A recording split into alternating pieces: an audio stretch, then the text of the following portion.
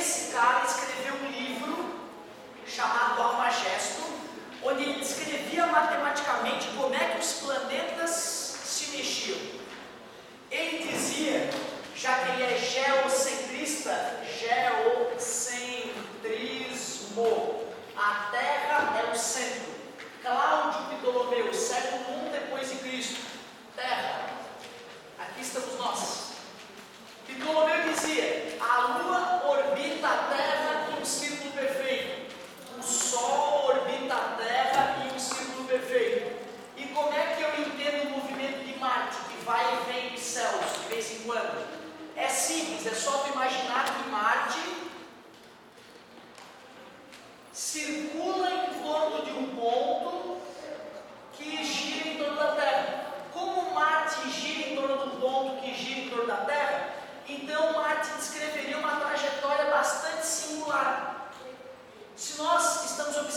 partes da Terra, esse tipo de movimento justifica porque ele às vezes avança, às vezes ele retrocede no céu, dependendo da época em que tu vê ele.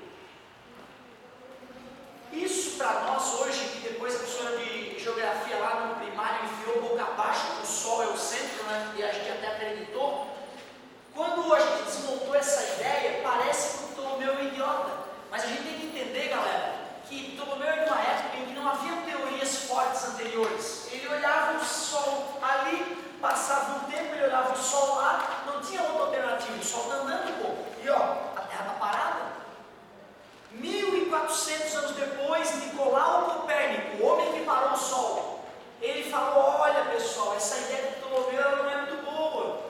Se a gente pensar diferente, fica mais fácil. Se nós pensarmos que o Sol é que é o centro, se nós pensarmos que o Sol é que é o centro, aí Mercúrio, Vênus, Terra,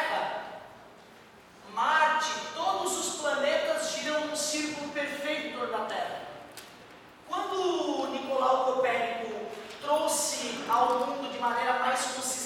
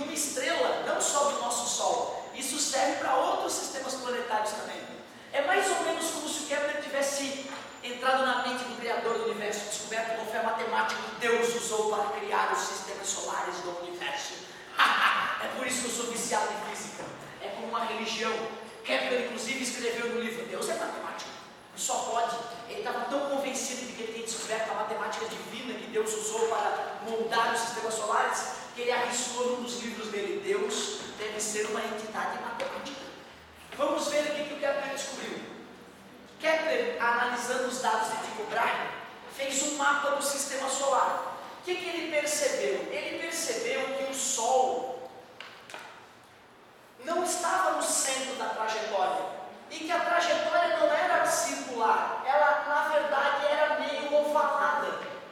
Para que eu possa fazer a trajetória mais honesta, deixa eu pegar aqui um pedaço de barbante. Eu sempre uso essa parte aqui. Isso aqui é sempre um bom barbante.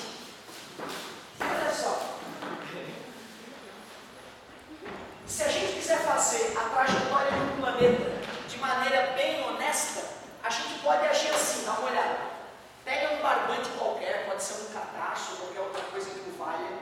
Segura esse barbante em dois pontos do teu caderno, dois pontos fixos, aqui e aqui. Pega a coisa de escrever, estica esse barbante e mantendo ele esticado, faça o desenho. Os pontos onde tu estava segurando o barbante chamam-se focos. E, claro, né, eu vou completar aqui na mão a parte de baixo, o nome dessa figura, elipse. Elipse. Tu vê, né, cara? Os planetas, quando orbitam o Sol, não formam uma trajetória circular como estava baseado né, as leis ptolomaicas e copérnicas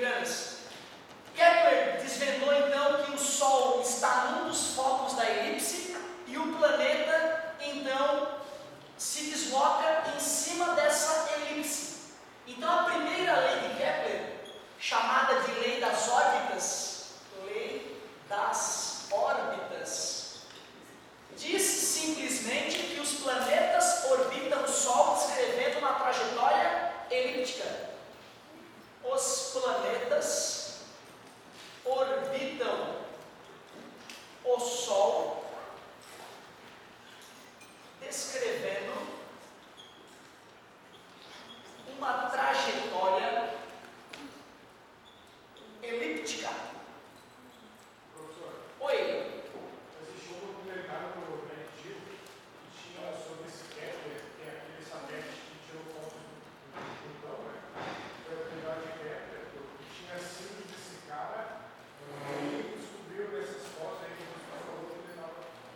então, cara, um satélite que está arrebentando a boca do balão é um satélite que tem esse nome Kepler. Parabéns pela, pelo comentário.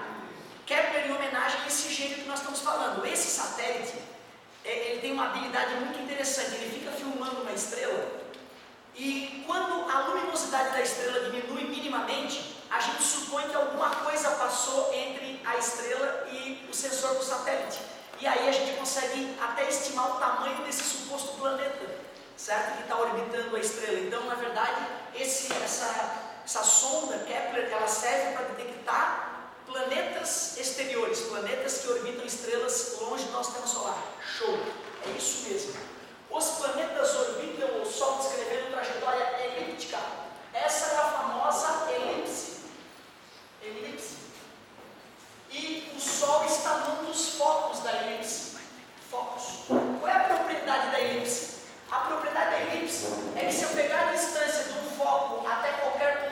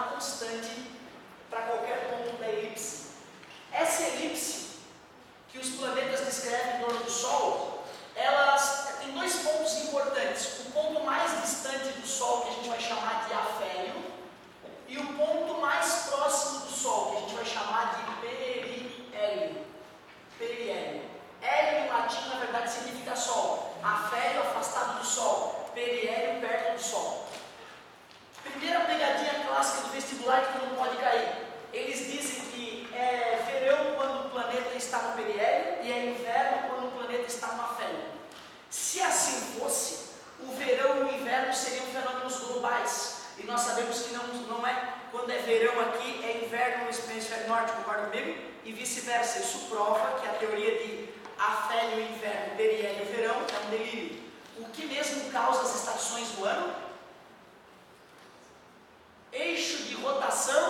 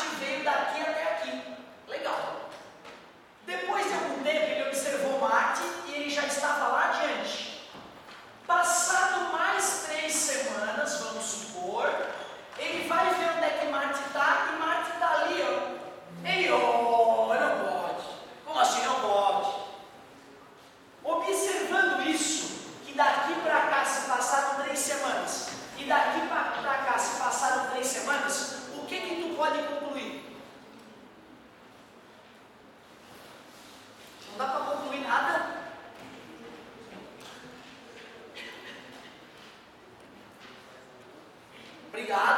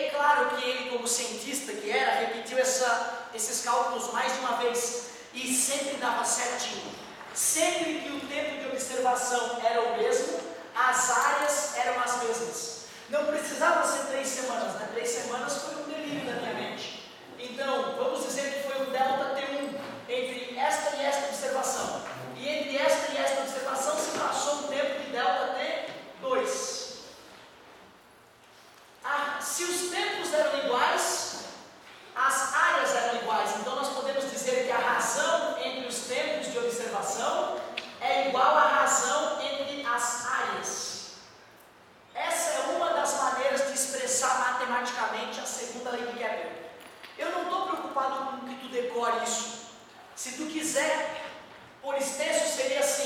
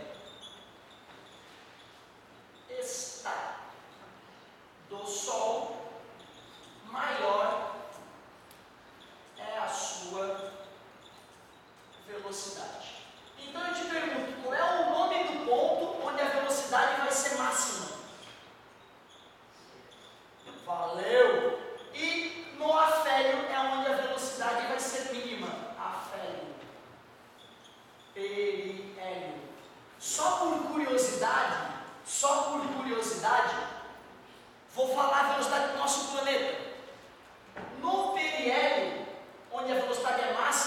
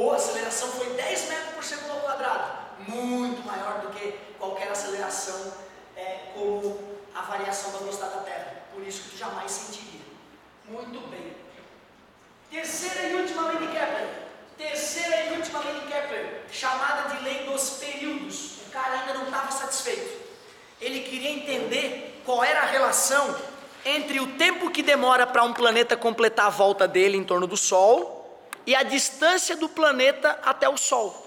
Ele queria entender qual é a relação entre o tempo que demora para completar a volta e a distância do planeta ao Sol. Essa foi a lei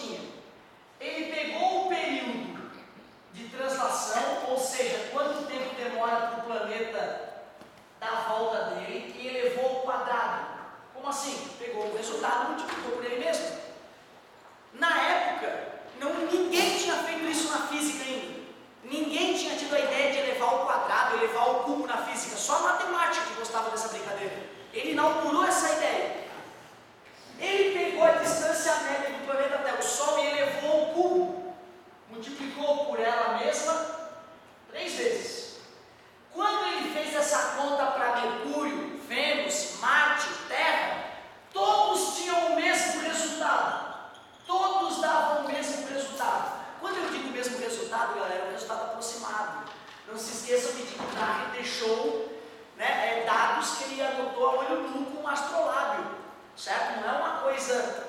Era nítido que era para dar o mesmo resultado. Ele percebia que se dava alguma diferença nas casas após a vírgula, era por imprecisões dos dados dele. Tu imagina? Eu fico pensando, esse cara deve ter enlouquecido.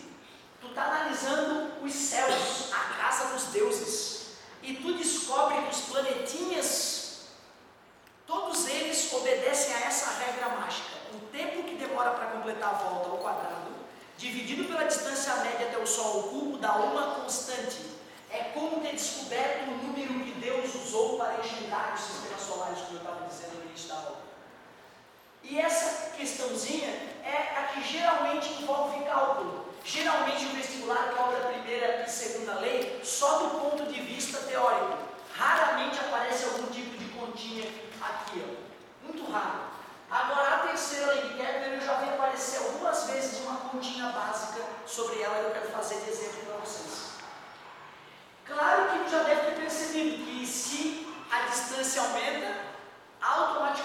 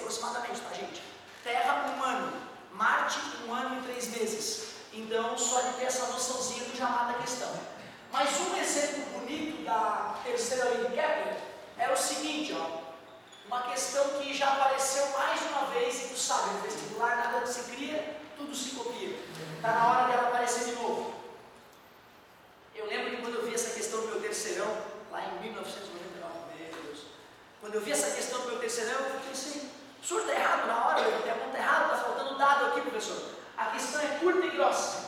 Um planeta está quatro vezes mais distante do Sol do que a Terra. Um planeta hipotético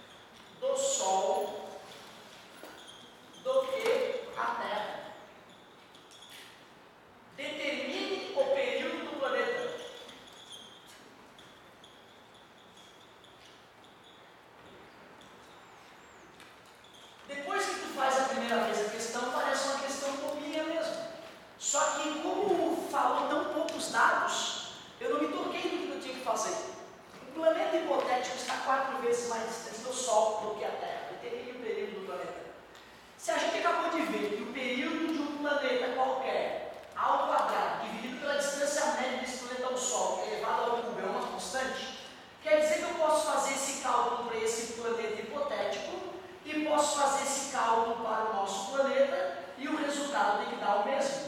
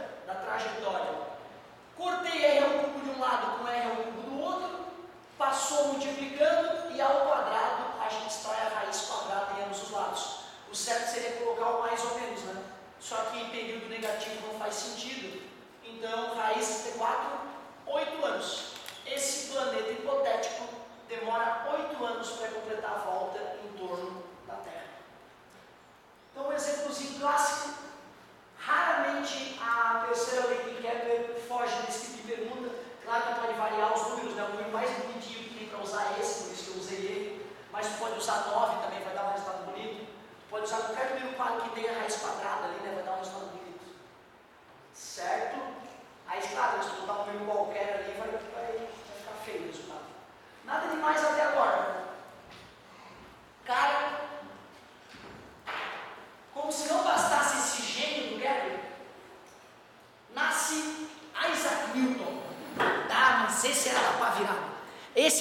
Que tu vê andando na rua assim, que tu vê que ele está numa frequência diferente, sabe?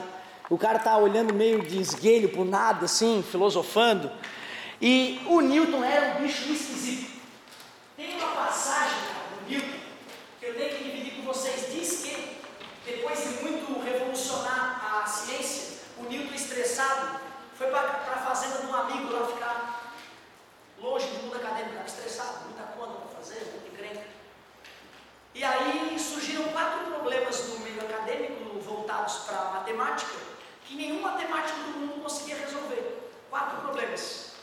E os matemáticos do mundo todo discutindo, tentando resolver o problema, ninguém matava as charadas. Aí o Bernoulli, que era amigo pessoal do, né, do Newton, é, e sabia o endereço do Newton de recolhimento, mandou uma carta para o Newton. Ô Newton, ó amigo, tem quatro probleminhas de matemática aqui que está incomodando o pessoal, se tu puder dar uma força, eu retiro e tal, e, e traduziu os problemas. Ó, essa encrenca, essa, essa. Diz que o Newton pegou a carta no mesmo dia matou os quatro problemas que o resto do mundo não conseguia resolver, respondeu a carta do Bernoulli e voltou a se retirar devido ao estresse acadêmico.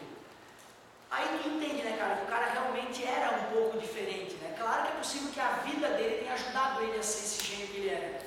Por exemplo, ele leu Ptolomeu, ele leu Copérnico, ele sabia tudo das leis de Kepler, ele conhecia tudo de Galileu Galilei, cinemática, e na hora que ele começou a estudar toda essa encrenca, ele percebia que a matemática que ele tinha disponível para fazer os, os cálculos e analisar as coisas era fraca. E ele criou uma matemática nova para resolver as coisas, chamada cálculo diferencial integral, que todos que vão fazer engenharia ou exatas aprenderão. Vocês vão aprender o raciocínio que o Newton criou para calcular, o raciocínio que hoje é o que todos os engenheiros do mundo usam. Ele e Leibniz, não dá para não, né, não dá para desprezar o Leibniz, um alemão que era arqui-inimigo do Newton, contemporâneo, portanto, mas o Leibniz desenvolveu o cálculo diferencial integral sem a ajuda do Newton, separadamente. Os dois criaram as ideias juntos, sem se conhecer, e depois ficaram brigando para ver quem criou primeiro. Newton, como era politicamente muito poderoso, só ficou feliz depois que viu o Leibniz, destruído. Newton era uma pessoa ruim do ponto de vista pessoal. Ele era um gênio, mas era uma pessoa má. Quando ele estudou as leis de Kepler, ele ficou encantado com aquilo. Cara, esse filho da mãe descobriu como é que Deus engendrou o mundo. Só que ele não estava satisfeito. Ele queria saber por quê. Por que, que o planeta aumenta de velocidade e diminui de velocidade? Aumenta de velocidade e diminui de velocidade. Ele já tinha percebido que os corpos tendem na linha reta, ele já tinha percebido a inércia.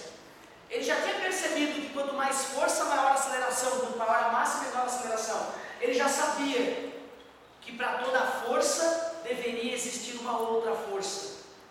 Quando ele começou a aplicar os conhecimentos que ele já tinha adquirido nos corpos terrenos, na ideia de Kepler, ele começou a perceber que as leis que regem o movimento dos corpos celestes são as mesmas leis que regem o movimento dos corpos terrenos. E ninguém supunha isso. Antes todos pensavam que as leis céu eram divinas e as leis da terra eram terrenas, eram diferentes. Quando Newton usou as leis que regem o movimento dos corpos aqui na Terra para interpretar as leis de Kepler, só teve uma conclusão possível se Kepler estiver correto,